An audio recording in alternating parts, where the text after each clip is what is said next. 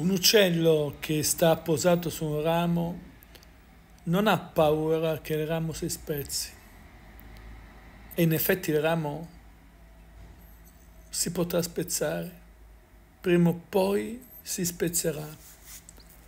Ma l'uccello non teme questo, perché lui non si basa sulla solidità del ramo, ma si basa sulla forza delle sue ali, sulla sua capacità di volare.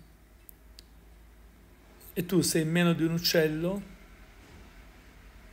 Sicuramente sì, quando ti basi sugli altri, sugli eventi esterni, sulle circostanze.